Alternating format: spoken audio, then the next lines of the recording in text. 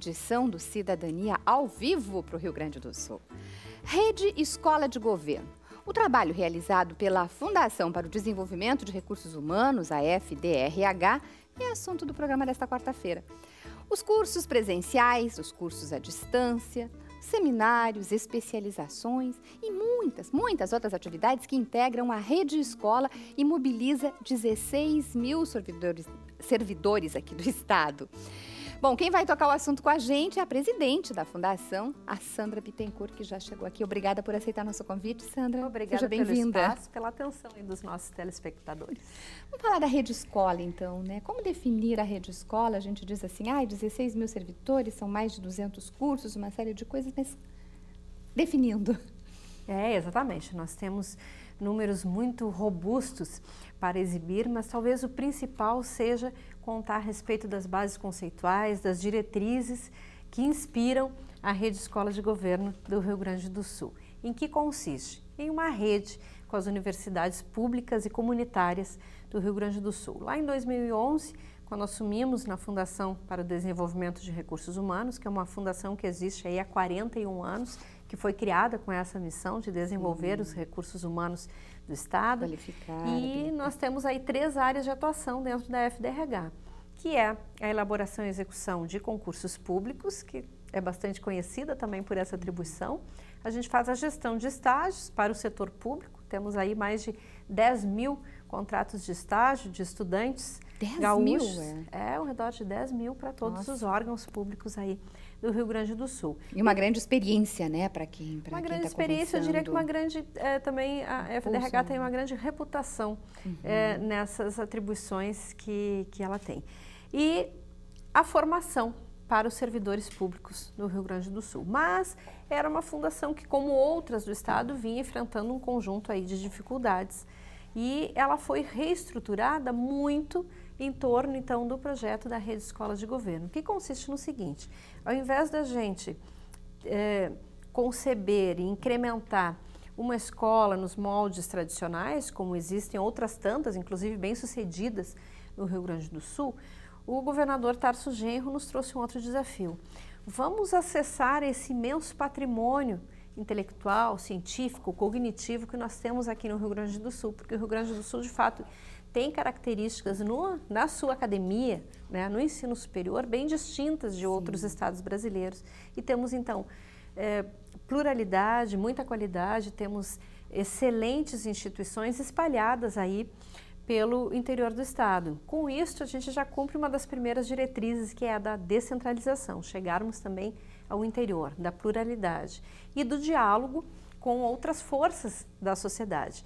Então, qual é o nosso objetivo? A gente levar a pauta do serviço público para dentro da academia, né? levar os saberes que são produzidos no serviço público, os desafios que nós temos que enfrentar e ter lá dentro, então, da academia o acesso a todo esse patrimônio né, intelectual, cognitivo que nós temos aí.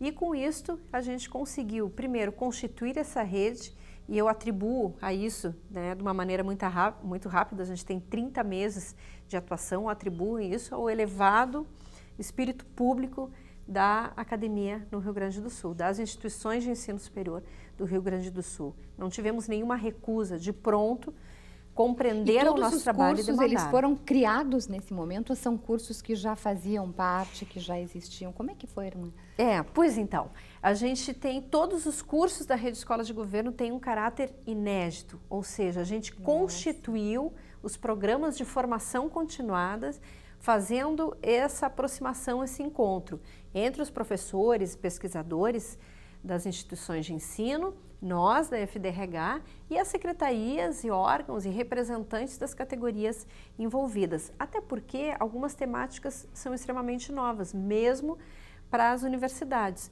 Por exemplo, um dos cursos dos quais a gente tem muito orgulho e que já tem frutos e resultados é o Programa de Formação Continuada em Políticas de Gênero e Promoção da Igualdade Racial. Não se tinha um curso pronto sobre isso. Uhum. Então a gente precisava aproximar o que o poder público está fazendo, o que os movimentos sociais estão fazendo, realizando e demandando, e o que a academia tem de acúmulo sobre isso, de pesquisa. Então, associamos todos esses atores aí e conseguimos realizar cursos de extensão e um curso de especialização, então, na promoção né, dos, dos, direitos uhum. é, é, da igualdade racial e das questões de gênero. E a gente já formou a primeira turma de especialistas, é, mulheres das mais distintas é, áreas, que são especialistas, então, em políticas públicas onde, para as com, mulheres. Com, em parceria com quem esse curso específico? Esse curso foi com a PUC, com a PUC, que foi uma grande parceira também, de, logo de primeira, uh, compreendeu, aceitou o desafio. Nós juntamos, porque, como eu disse, né, eh, são temáticas um tanto novas, então nós, nós conseguimos aproximar uh, a Faculdade de uh, Estudos Sociais e a Faculdade de Educação. E um grupo de professores, então, se formou, topou o desafio e a gente tem certeza que todos concluíram com mais conhecimento e melhores do que entraram, tanto os professores quanto as servidoras uhum. públicas e as agentes sociais. Porque essa é outra característica. Né? Então, é, é, eu gostaria para que fique claro para o nosso telespectador, então, uma primeira, um primeiro conceito da rede escola de governo é justamente esse. Vamos ter um formato em rede, vamos aproximar saberes, vamos constituir conhecimento para o serviço público. Esse é um um primeiro diferencial. O segundo é do que trata a escola de governo. A escola de governo trata de dar suporte, de promover reflexão e de constituir conhecimento para um Estado público, para um Estado que precisa recuperar suas funções públicas. Com isto também a gente compreende que nós não podemos simplesmente importar da iniciativa privada ferramentas, uhum. metodologias que são aplicadas com sucesso na iniciativa privada, porque se referem a uma empresa, né? E não podem sê-lo, uh, né? Não podem ser aplicadas para o Estado, porque o Estado tem outras funções sociais, inclusive.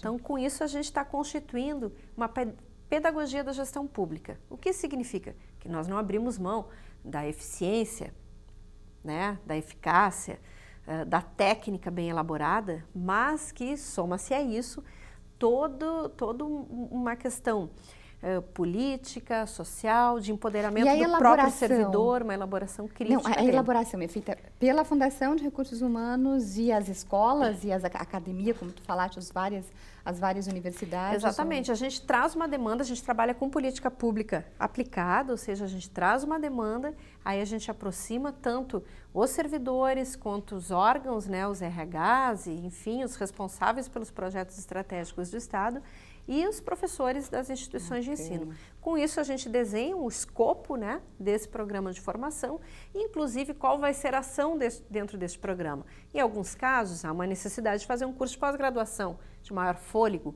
que produza também a sua parte em pesquisa, né? Uhum. um curso de especialização. Em outros casos, é mais relevante a gente ter cursos mais pontuais de extensão.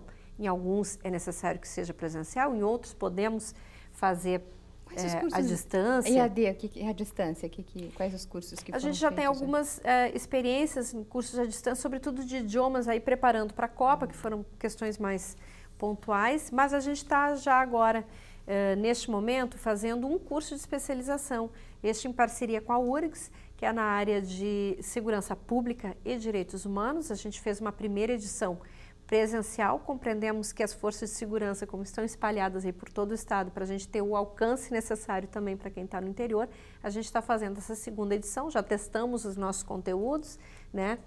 É, burilamos bem este curso e agora a gente vai oferecê-lo então é, na modalidade de ensino à distância, utilizando a plataforma que a URGS utiliza okay. e que tem, enfim, muito sucesso e muito, é, referendada pelo Ministério da Educação. E, eles, e, e os presenciais são apenas em Porto Alegre, as pessoas que, uh, servidores públicos que, que moram em outras cidades, como ficam? Não, a gente tem assim, é, para vocês terem uma ideia, a gente já conseguiu alcançar, beneficiar mais de 16 mil alunos, entre servidores públicos então, do Estado, servidores municipais, porque a gente compreende que o desenvolvimento ele só se dará se a gente contemplar também as cidades, os uhum. municípios, as especificidades regionais e também a figura que a gente conceitua daí, uh, eu citei aqueles três diferenciais. Né? O primeiro é o formato em rede, é, o segundo, a gente está desenvolvendo uma pedagogia da gestão pública.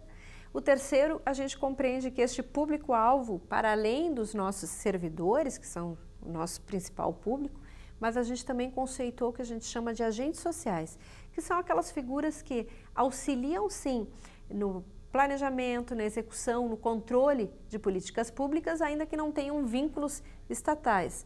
Pessoas de movimentos sociais, de conselhos de direitos, uhum.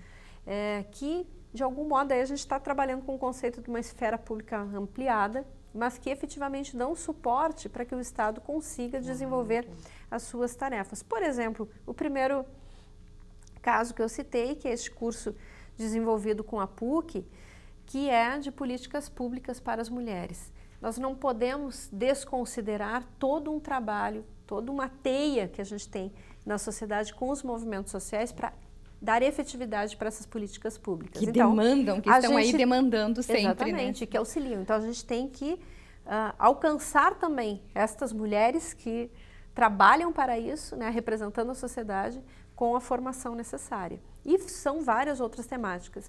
Às vezes também as temáticas são tão novas que antes de oferecer um curso né, de extensão, a gente precisa fazer todo um trabalho de sensibilização, de diagnóstico, né, de mobilização desses gestores e dessas comunidades em torno de, de determinado assunto. Vou dar um exemplo que, que este exemplo é muito bacana, é muito interessante, porque ele fecha muito é, com o que tu me perguntavas agora. Ele é de uma instituição que é do interior, que é a Unicruz, que é uma instituição uhum. comunitária, muito, muito militante, assim, muito ciente do seu papel na comunidade, do seu papel público. O tema é, é políticas em direitos humanos com três ênfases, que é a questão da diversidade geracional, do envelhecimento, cada vez mais os, as cidades e o Estado Sim. precisa se preparar para desenvolver políticas que atendam essa parcela da população. É, pessoas com deficiência, que a gente está desenvolvendo um curso lindo, super bonito para professores que precisam acolher Ai, nas suas bacana, escolas pessoas claro. com deficiência. da inclusão na educação. Se preparar para isso. E também ele dá suporte para todo o trabalho do Rio Grande sem homofobia. E aí, para essas temáticas, a gente fez diferentes ações combinadas. Fizemos assim, ó, um conjunto de seminários por todo o interior do estado. E é impressionante, até é muito interessante da gente ver o interesse dos gestores né, municipais, gestores do estado também, e agentes sociais em se apropriar de, dessa instrumentalização necessária para desenvolver esse essas curso políticas. Cruz, ele, vai ser realizado esse ano? Já foi? Olha, já foi uma rodada, são vários. Como é que a gente faz? Para cada curso, a gente disponibiliza um edital público. Nesse edital estão aí os requisitos, a que público Sim. se destina, a duração do curso, em que cidade ou cidades eles serão desenvolvidos e com isso as pessoas se inscrevem, se habilitam e aí a gente tem uma série de Uns critérios. são mais longos, outros mais curtos. Isso, exatamente. falavas no tem começo. essas ações. Alguns são seminários, outros são um conjunto de oficinas, outros são cursos de extensão de 60, 80 até 120 horas e outros são cursos de especialização mesmo, pós-graduação, 360 horas, que daí também tem os seus requisitos claro. em termos de titulação e formação. A gente já continua falando, agora é hora de acompanhar a programação da TV, nós vamos a um rápido intervalo e já voltamos.